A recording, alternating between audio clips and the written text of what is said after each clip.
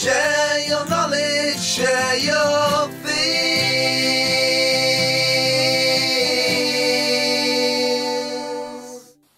Hello and welcome to my Coach House workshop uh, in Westbury in Wiltshire. We're just over the borders uh, from Somerset and just on the other side of the Somerset border from us is a lovely town called Frome and in that lovely town called Frome is a wonderful new shop which is called Share the Library of Things.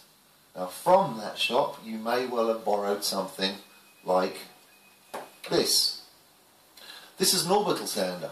Uh, orbital sanders are one of many different types of of, uh, of power sander. An orbital sander is a moderate tool in terms of its sanding ability. Um, this type of sander, which is called a belt sander, I have two different varieties here. That is a, uh, a 3 inch belt sander, and this is a 4 inch or 100 millimeter belt sander. Um, they're a pretty serious mother of a tool, to be honest. Um, what they tend to do is to um, take much more material away, but they do it in a much more aggressive way. So they do take a little bit of handling. Um, so we're going to talk about the orbital sander first. The orbital sander basically is a little bit like uh, an electric drill with a pad on the end. It rotates, but it also has a slightly strange, eccentric, I believe is the correct phrase, motion, um, which, if I plug it in, you'll see Whenever you plug anything in, by the way, you turn it on its side, or in the case of one of these, it's probably better actually to hold on to it. I'll leave that one on its side there. Make sure the trigger is in the off position. Many of them have a, a fixed button position like that, so you can leave it in the on position. Before you plug it in, make sure all power tools are clearly in the off position. But also, don't trust the fact that that's working. Make sure you have it in a way that if you turn it off, it won't jump off the table. That's particularly important with the belt sander. Now I've got an overhead um, power socket here, so I can plug that in. so, orbital sander. It's quite a nice quiet one this actually, quite a quiet model. Uh, all sanding devices should come with a port and a little attachment whereby you can attach a, a hoover or a vacuum to it. That's a really good idea. Kind of valuable, obviously if you bought one yourself you'll have all the attachments, do use them, especially with these because they produce some very fine dust. Orbital sand is quite an easy thing to use. Basically you just keep palm pressure on it when it's turned on. I'll just experiment very briefly, I'll turn it on and you'll see what I mean. Can you still hear me? I wonder. Well, can't hear me, I'll put a caption up there. So this is in the direction of the grain. Left, right, left, right. That's against the grain. Across the grain. The grain runs this way on the piece of wood. Try and keep the cable out of the way of the sander when it's working. Now the thing about an orbital sander is because of the eccentric motion, it doesn't create lots and lots of sanding marks very clean. Very clean indeed. I turn it off for a second. So, what you'll find is there's different grits available. This this one that's on here this is a very well worn, um, very well worn indeed. Now, before changing anything, unplug. Let's talk a little bit about grit types. Um, Grit is the technical term uh, referring to the amount of pieces of grit per square inch on the uh, on the discs or the belts. That's a four-inch belt. These are all three of these are four-inch belts um, from the belt sander, the big one here. But they have different grits. This one is called a P40. This one is called a P80, and this one is called I think this is a P120. Is it? Uh, it is indeed, it's actually a P100. What that means is that has 100 parts of grit per, it's either, it's either um, square centimetre or, or, or, square inch, I'm not sure. Uh, either way, it's it, is a, it is a standard. Um, and um, P80 is roughly equivalent to your normal everyday semi-rough sandpaper, which if you go, I was just talking about going with the grain, if you went with the grain, it's fine. But if you went against the grain, it automatically leaves big scuff marks, which then need lots and lots of cleaning up before you can lacquer that. That's the only real difficulty in sanding. And the main reason why the orbital sander on a flat surface wins every time. It's much more delicate beast than these. But some P80. So let's put a P80 grit on here.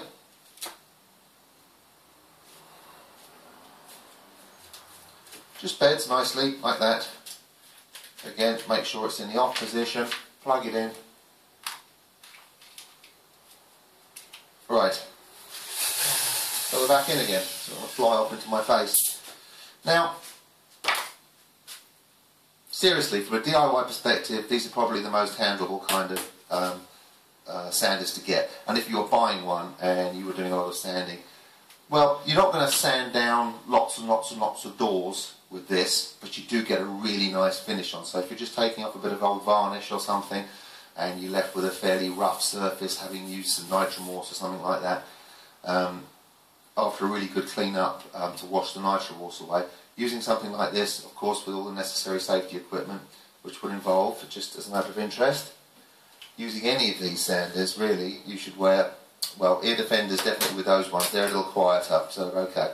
A good quality dust mask, and um, gloves are also quite a good idea, again, especially with those, because um, that's moving at quite a, quite a pace and uh, can, can uh, give you a nasty graze if you're not careful.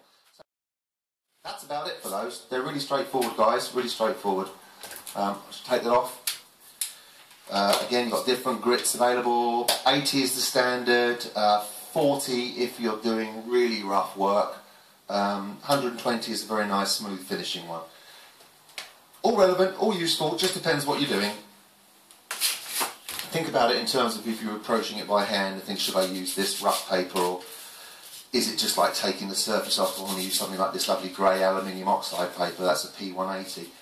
Really good finishing paper, excellent. It lasts very long, it lasts really well as well. Um, look always in the direction of the grain, ever, always with those. And with these, which is a belt sander. Um, when you're using a belt sander, there's several things you should be aware of. Number one, just like I said with the other sanders, you've got to make sure that it's off. Again, I've got, I, I can fix this on by pulling the trigger in and locking it.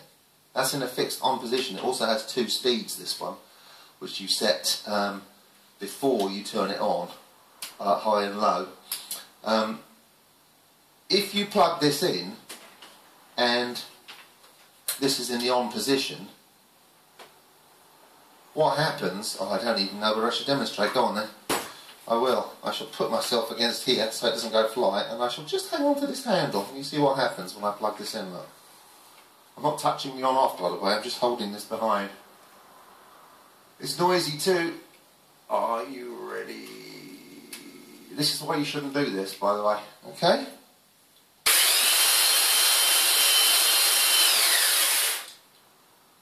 Get it?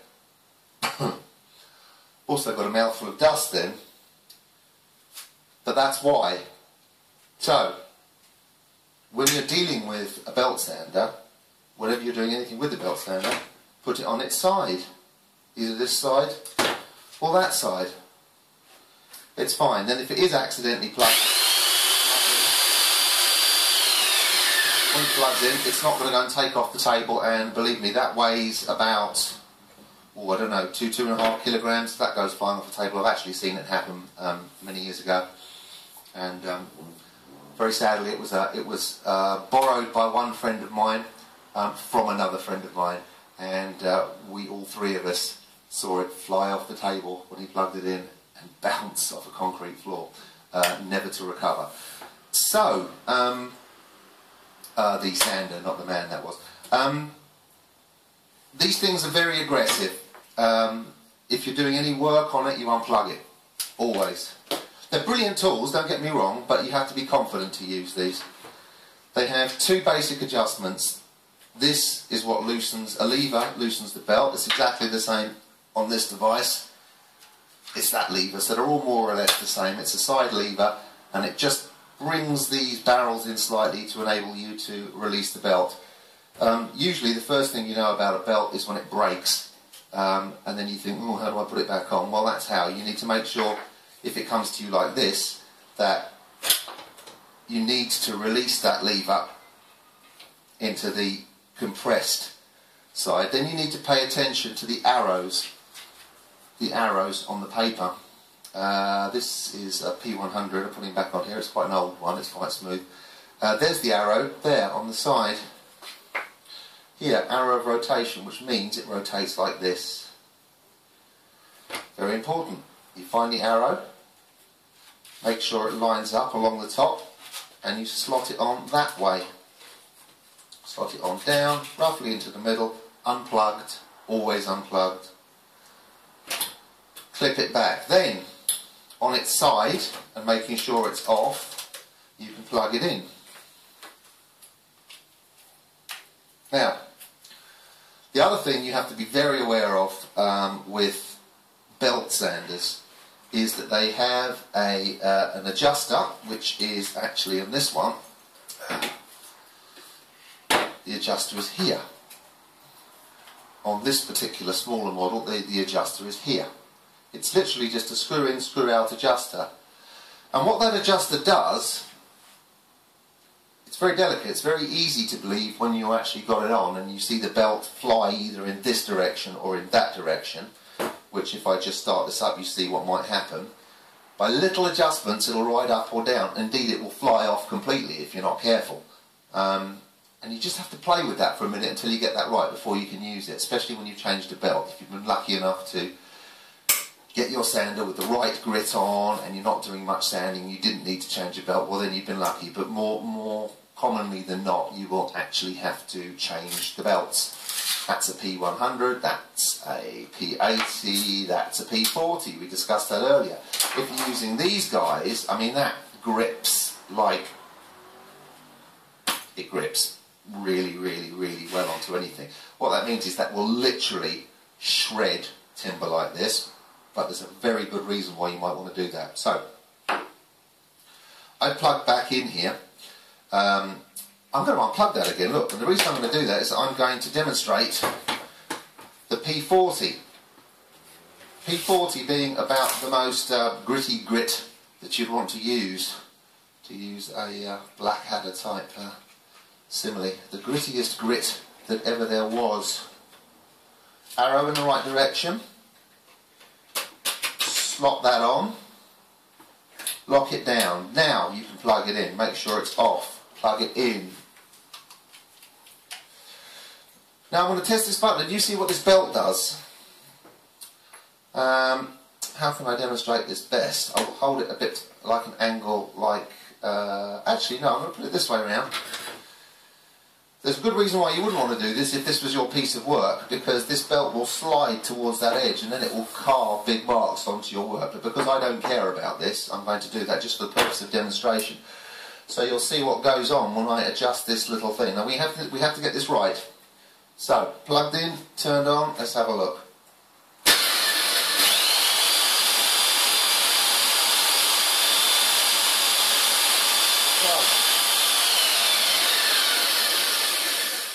Now that's quite a rare occurrence. I didn't actually have to adjust that. It sat right nicely in the middle. Now, if I uh, hold this towards you like that,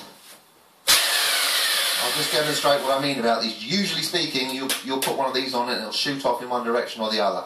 And you have to be just very delicate with these. So let me just experiment here for a second.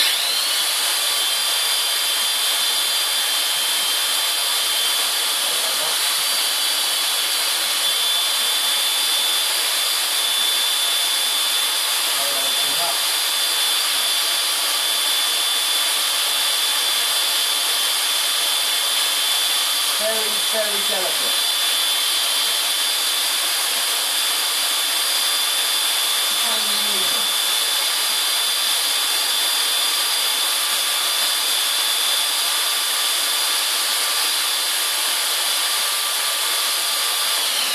Now, what that's done is the the uh, the front wheel There's a tiny bit of the belt hanging over this side and a tiny bit hanging over this side, so it's perfect. Perfect setting.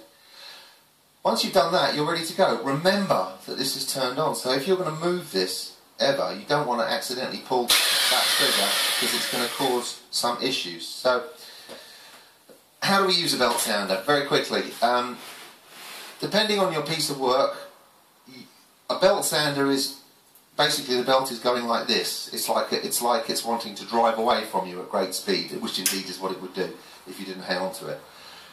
That also means that it's pushing the piece of work back towards you.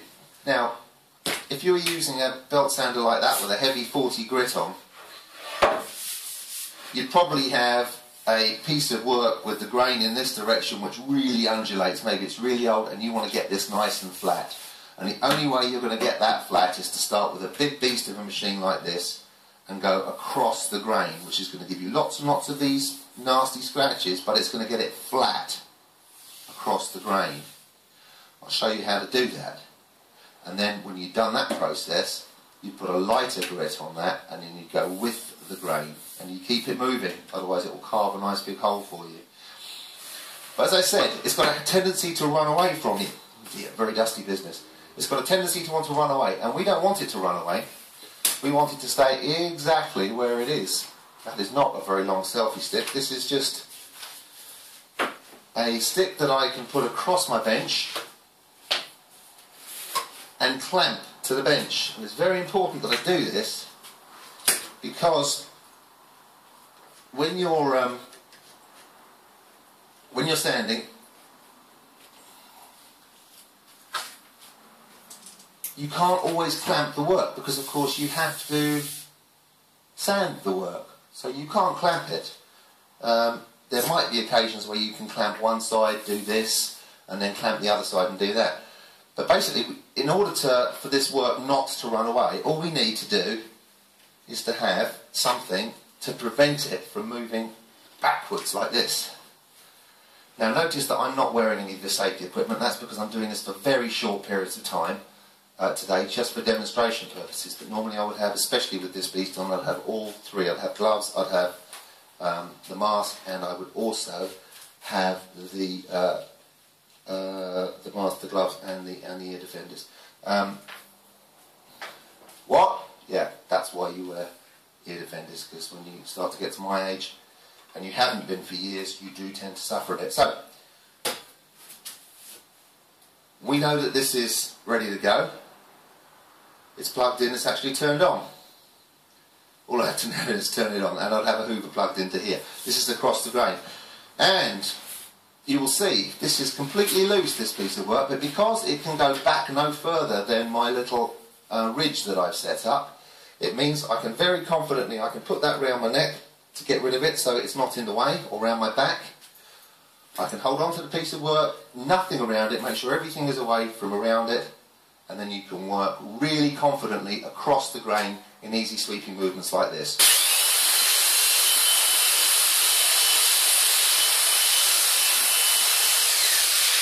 I'm going to turn that off for obvious reasons.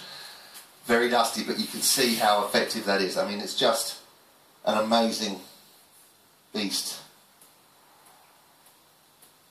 Thanks for that. Um, it's a workshop, that's what you're supposed to have a bit of dust, aren't you? So respect, respect for your tool, respect in the workplace, respect for the um, for the tops, and everything will be absolutely fine. Now, no matter which tool you've used today, um, do remember that if you don't know something, ask, and if you do have the knowledge, please share the knowledge. Thank you very much.